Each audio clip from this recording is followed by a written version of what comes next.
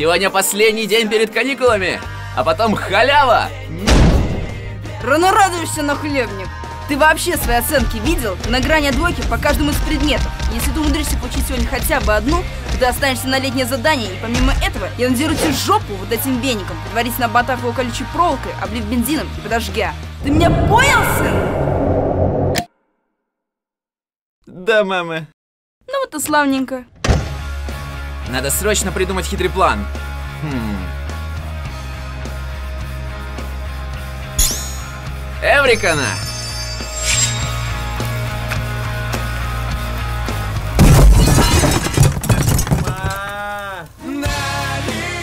Говоришь, линолеум скользкий? Угу, ударился, блин. Что-то у меня голова болит, мам. Можно я в школу не пойду? Ерунда, позавтракаешь и пройдет. Но у меня голова кружится. Ты преувеличиваешь, иди хавай. Но я потерял 3 литра крови. Хорошо, мам. Так, ладно, давай разберемся как разумные люди, как мужики. Ты прекрасно знаешь, что если я пойду в школу, то сто пудов умудрюсь получить парашу. А если я останусь дома, то ничего плохого не произойдет. Ведь это разумно.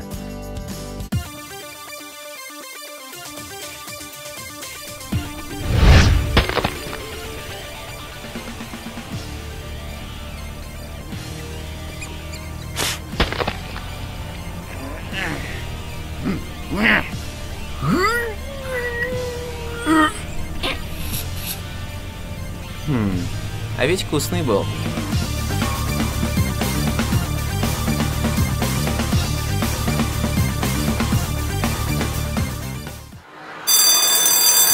Блин, весь день придется сидеть на стреме и не палиться. Интересно, на сегодня вообще что не задавали? Итак, проверим домашнее задание. Твою мать! И отвечать у нас будет. Пожалуйста, только не меня, кого угодно, женщин, детей, бобров, но не меня. Пожалуйста, пожалуйста, пожалуйста, пожалуйста. Зеков, ты отвечаешь. Одну минуточку. Бляха-муха! Во! А какая тема? Перл Харбор. Бляха-муха! Хотя постойте. 1941 год. Утром 7 декабря японцы устраивают хитрозадую атаку военной базы Перл Харбор.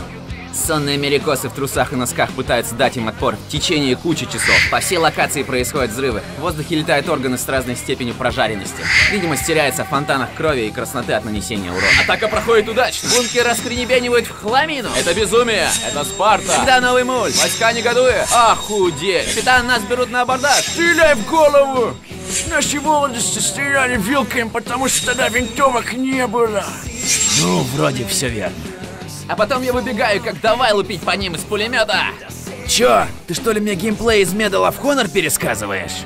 Э, не, это просто цитата одного из воевавших тогда, окей? Хорошо. Четверка. Yes! Так, кто хочет ответить пересказ романа «Преступление и наказание»? Может, ты, Дима? Да не, мне что-то не хочется. Да я знаю, ты хочешь. Да откуда вам что-либо знать? Давай же, выходи. Да не. Тогда тебе кол. Ща я все расскажу.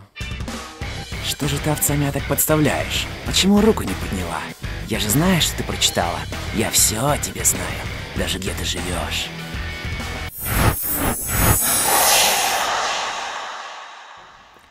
Плачешь, как баба. Ну, что молчишь? Я собираюсь с мыслями. Блин, паника, я даже краткого содержания не прочел. Что делать, что делать, блин? А, попытаюсь воспользоваться старой доброй логикой. Да поможет мне великая сила. Глубинный смысл данного произведения заключается в том, что любое злодеяние влечет за собой неминуемое наказание, на основе чего можно сделать вывод, что отсутствие злых деяний предотвратит любое наказание. Однако что вообще есть злодеяние? Ведь система оценивания у каждого своя. Что неприемлемо для одного, может являться нормой для другого. Соответственно, наказание несправедливо, а фильм «Повелитель стихий» — говно. Покажи само содержание. Как он старушку топориком шмякнул и все такое. Что? Да как вы смеете? Так поверхностно обсуждать этот рассказ? Но ведь это роман. Э, неважно. Это же величайшее произведение на свете. За подобное пренебрежение к нему стоит отрезать конечности. Я и не думала, что тебе так понравился роман. Вижу, ты точно его прочитал. Молодец. Главное, что он заставил тебя задуматься. Пятерка тебе. Можно выйти? Да, конечно.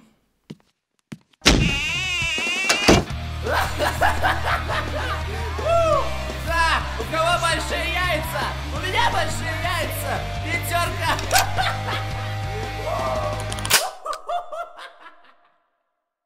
Ух, я в ударе. Думаю, дальше вряд ли что будет.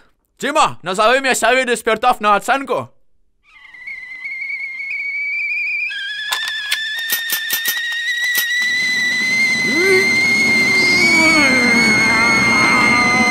О. Эй, чел, подскажешь, если чё, ок? Не-не-не-не, я тут просто мультфильм снимаю. Ну ты-то подскажешь? Ну, помогу, чем смогу. Спасибо, чувак, выручаешь. Эй, поможешь мне подсказать ему ок? Хорошо. Слушай, поможешь помочь ему подсказать? Угу. Спасибо. Эй, давай, отвечай. Эм... Метил. Чё? Метил, блин. Да метил, блин. Метил. Молодец, дальше. Этил. Этил. Дальше. Пропил. Пропил. Дальше. Жопа! Жопа! Э, Да-да-да-да, давай дальше. Э, мутил, курил, тусил, косил, дебил, э, дверь запилил. Дальше, дальше. Эм, все. Все, молодец, такой прям молодец. Вроде немного напутал, но садись. Четыре.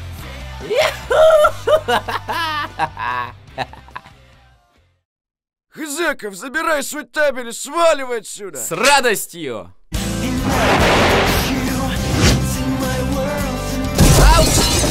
Я дома. Я сегодня не получил ни одной двойки, так что все должно быть кошерно. Ты оценки-то свои вообще видел? Э, нет. Так взгляни же. У меня ни одной тройки? Но ты же сказала мне утром, что... Да, я соврала. Но ведь хуже не стало. Наоборот, ты получил больше, чем рассчитывал. Если бы я тебя не запугала, то ты бы и не подумал стараться. Ведь так? Ну, наверное. Так-то, ты еще поблагодаришь меня, когда будешь поступать в универ.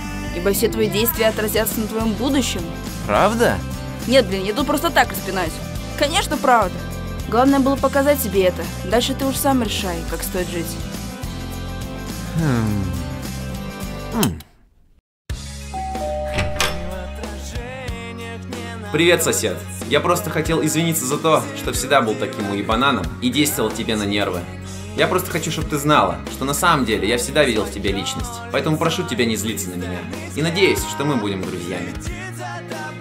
Спасибо, для меня это много значит. Для меня это тоже важно. До встречи. Ага, пока. Сработало. Пара слащавых пафосных фраз, и я втерся ей в доверие. Теперь она наверняка даст мне списать, а может даже просто даст. Бугага. Я все слышала. Вот решебник с ответами на все задания. А родители мои свалили на дачу. Вау!